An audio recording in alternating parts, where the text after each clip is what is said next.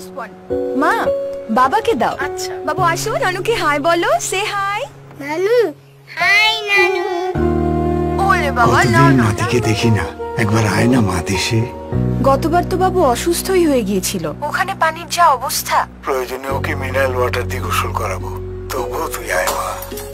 বাবা পরে কথা হবে।